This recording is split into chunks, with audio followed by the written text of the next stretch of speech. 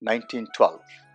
The world was captivated by the luxurious RMS Titanic, a majestic British passenger liner that set sail on a fateful voyage from Southampton, England to New York City, US.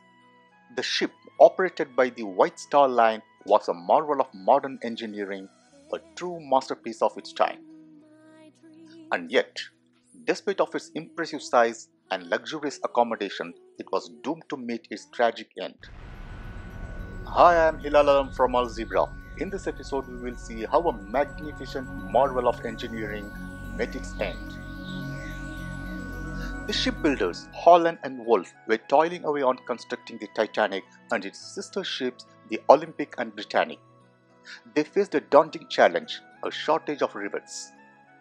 They needed nearly 3 million of the small metal fasteners for each ship, but their usual supplies were unable to keep up the demand. And so, in a bid to save time and money, they turned to small forgers whose quality control was less stringent.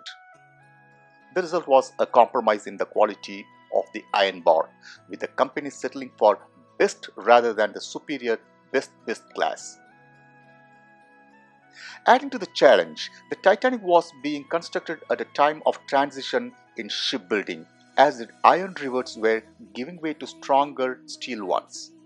The bow and stern section of the ship were fastened with iron while the midship was held together with steel. The stress on the midship was expected to be intense, but no one could have predicted just how catastrophic the consequences would be. On that fateful night, April 15, 1912, the Titanic sailed into a field of iceberg with the visibility severely limited by poor weather conditions.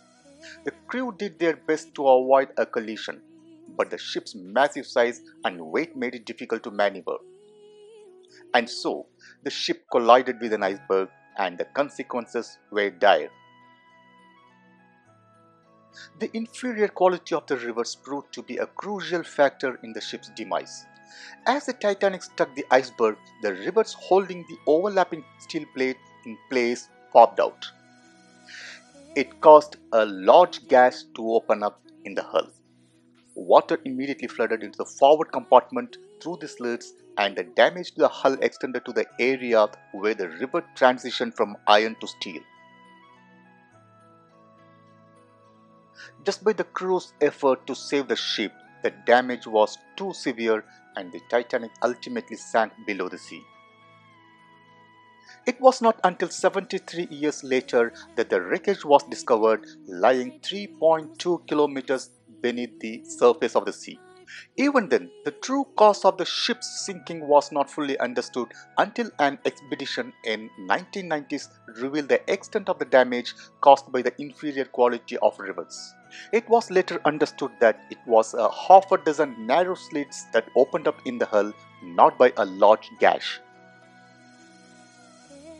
To make matters worse, the metallurgists later found that the rivets contained a high amount of brittle slag which worsened the ship's vulnerabilities. The slag is a glassy residue left behind after smelting process of iron ore. It's hard to imagine what might have happened if the Titanic had hit the iceberg head on, rather striking it on the starboard side. Experts believe that the liner might have stayed afloat if that had been the case. The futile attempt to turn resulted in opening of narrow slits in the plates.